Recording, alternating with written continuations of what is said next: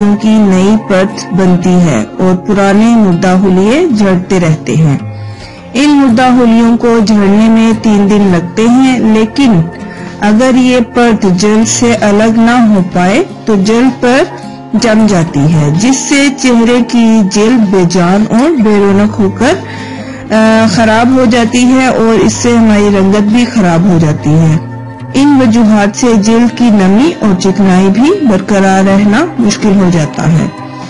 इन मसाइल की वजह से जेल पर कील मुहासे दाग धब्बे और मुख्तलिफ़ किस्म की प्रॉब्लम्स हमारे स्किन पर आने लग जाती हैं। और ये खातन के लिए सबसे बड़ा और अहम मसला बन जाती हैं। खातन जमाना कदीम से अपनी जिल्द को निखारने के लिए उपटन का इस्तेमाल करती आ रही हैं।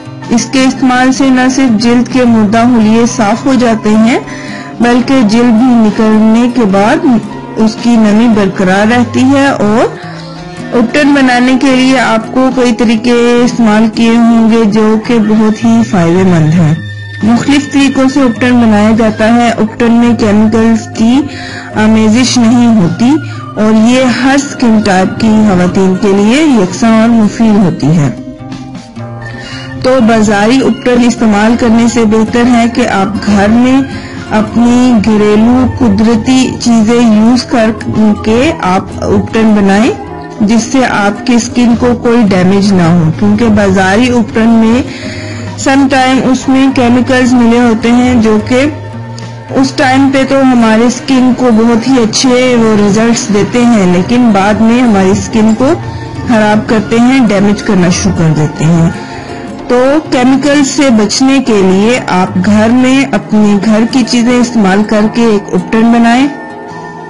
इस उपटन को बनाने के लिए आपको बहुत ही आसान और सस्ती सी चीज़ों की ज़रूरत पड़ेगी, जिसमें हल्दी आपको चाहिए 10 ग्राम, संदल पाउडर चाहिए आपको 10 ग्राम, आकाश बेल पाउडर आकाश बेल एक जड़ी बूटी है, उसका पाउडर आपको चाहिए 10 ग्राम और बेसन आपको चाहिए होगा 30 ग्राम।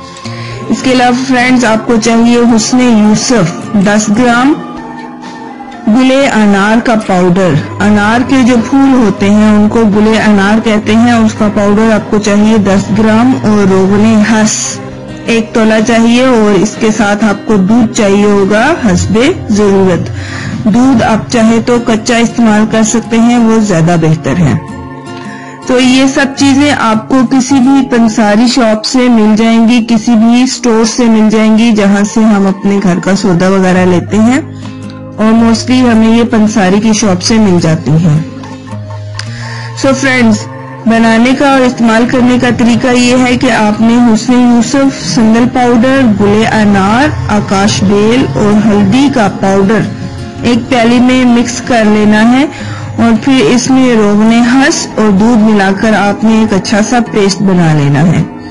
और इस पेस्ट को आपने 15 मिनट के लिए अपने चेहरे पर लगाना है और फिर नॉर्मल पानी से आप इसको धो लें। एक दफ़ा के इस्तेमाल से ही आपके चेहरे की जिल्द नरम मुलायम और चमकदार हो जाएगी। और हफ़्ते में दो बार इस उपटन का इस्तेमाल करें, इससे आपके चेहरे में दिन ब दिन रौनक आएगी और आपका चेहरा निखरता जाएगा, आपका रंग साफ़ हो जाएगा। चेहरे में दो तीन आप दिन में दो तीन दफ़ा अर के गुलाब से अपने चेहरे पर स्प्रे करते रहें, इससे भी आपकी जिल्द की ताजगी बरकरार रहती है। चेहरे को सूरज की शुआ से बचाने की हर मुमकिन कोशिश करें और घर से निकलते वक्त सन ब्लॉक का इस्तेमाल ज़रूर करें। ताज़ा फलों और सब्जियों का इस्तेमाल ज़रूर करें, जैसा कि मैं अपनी हर वीडियो में आपको बताती हूँ कि अपनी डाइट को बैलेंस रखें। फ्रूट्स का वेजिटेबल्स का, दूध का इस्तेमाल बहुत ज़्यादा करें। सैलेड्स इस्तेमाल करें, इससे आपकी स्किन बहुत अच्छी रहती है, आपका डाइजेस्टिव सिस्टम भी अच्छा रहता है और इससे आपकी स्किन ग्लो करती है। सो so फ्रेंड्स ये थी हमारी आज की बहुत ही आसान और सस्ती सी टिप मैं उम्मीद करती हूँ आपको पसंद आई होगी और अगर आप मजीद वीडियोस देखना चाहते हैं, उनके बारे में जानना चाहते हैं गए, दिए गए सब्सक्राइब बटन को ज़रूर क्लिक करें, क्योंकि इससे आपको वीडियोस की नोटिफिकेशन मिलती रहेगी और आप नई से नई वीडियो मेरी देखते रहेंगे।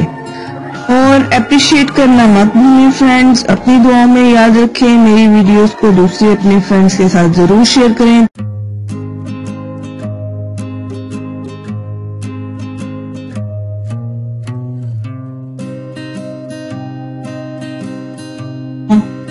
इतनी मेहनत से वीडियो बनाई है, एक लाइक तो बनता है ना? और दूसरा ये कि आप हमें इतनी बड़ी दुनिया में दोबारा कैसे ढूंढेंगे? तो इसका हल ये है कि आप हमारे चैनल को सब्सक्राइब कर लीजिए और इस बेल के आइकन को क्लिक कर दीजिए। इस तरह हमारे आने वाली तमाम वीडियोस आप तक पहुँच